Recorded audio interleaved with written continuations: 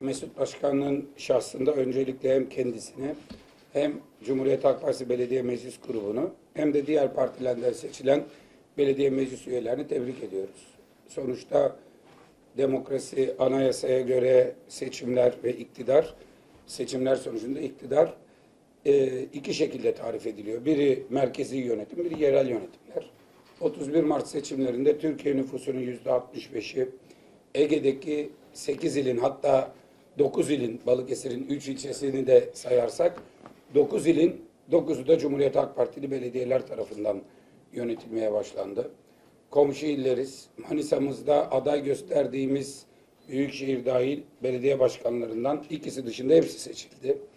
Balıkesir'de de dört belediye dışında bütün belediyeleri Cumhuriyet Halk Partili belediye başkanları yönetiyor. Ve nüfusun neredeyse yüzde doksanının üzerindeki bir kısmı, yüzde doksan beşine yakın bir kısmını Cumhuriyet Halk Partili belediye başkanları yönetiyor. Bu büyük bir teveccüh, aynı zamanda büyük bir sorumluluk.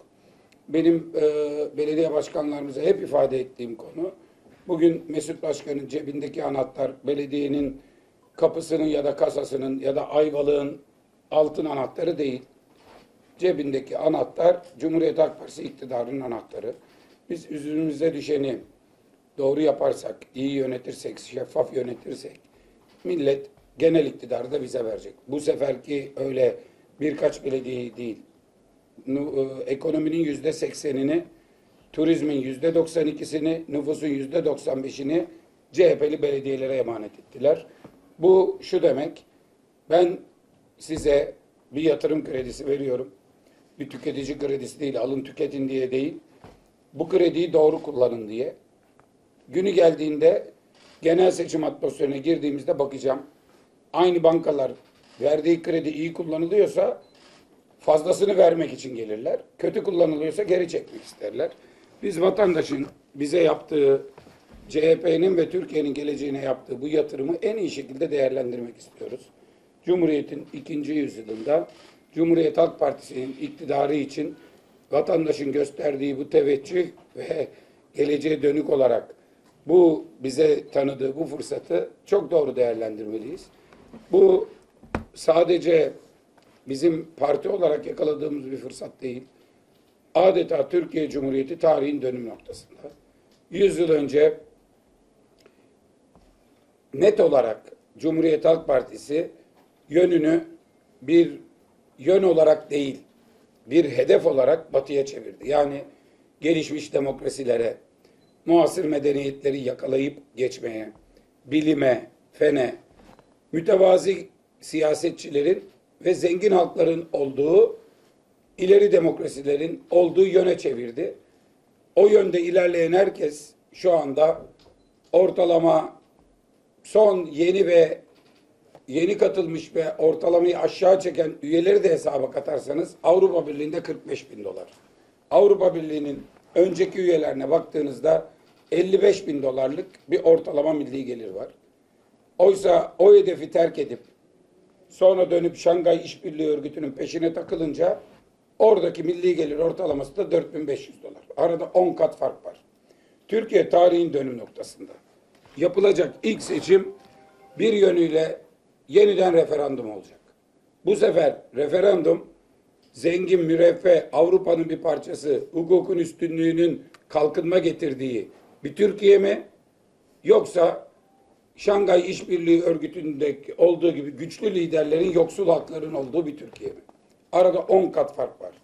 Eğer bunu çok net olarak ifade ediyoruz.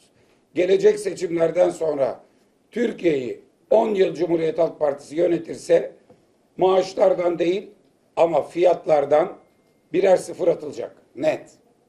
AK Parti yönetirse fiyatlara bir sıfır daha gelebilir ama maaşlardan kimse bir şey beklemesin. Cumhuriyet Halk Partisi en az 45 bin dolarlık bir milli gelir teklif ediyor Türkiye'ye. AK Parti'nin götüreceği yerde de milli gelir 4500 dolar. İnanın bu satın alma gücüne 10 kattan daha fazla etki ediyor. Yani bugün AK Parti'nin yönettiği ülkede mazotun 40 lira olduğunu görenler CHP'nin 10 yıl yöneteceği ülkede bugünkü parayla mazotun 4 lira olduğunu görecekler. Satın alma gücü açısından. 140 liraya kahve satılıyor. İnsan gördüğünde etiketi utanıyor. O kahvenin maaşların aynı kalıp 10 lira olduğunu düşünün. Satın alma gücünün 10 kat 15 kat arttığını düşünün. İşte böyle bir mücadelenin içindeyiz. Bunun için hep birlikte çalışıyoruz. Tabii bir de Ayvalık açısından tarihi bir fırsatla karşı karşıyayız. Ayvalık Belediye Başkanı'yla Balıkesir Büyükşehir Belediye Başkanı şimdi aynı partide. Bundan önce AK Parti ne Ayvalık'ta ne Edremit'te ne Körfez'in herhangi bir yerinde büyük sorunlara kalıcı çözümler üretmemek için elinden geleni yaptı.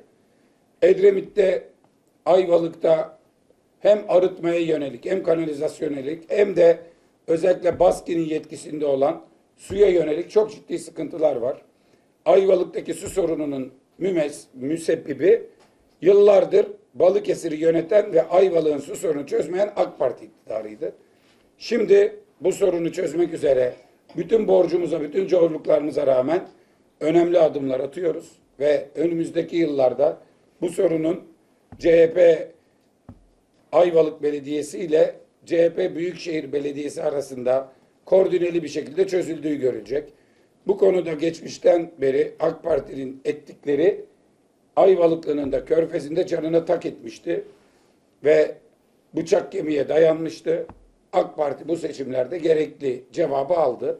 Bundan sonra devraldığımız enkaza rağmen, belediyenin inanılmaz borçlarına rağmen bir şekilde bu sorunları çözmenin ve bu sorunlara kalıcı çözümler üretmenin ilk adımlarını atıyoruz.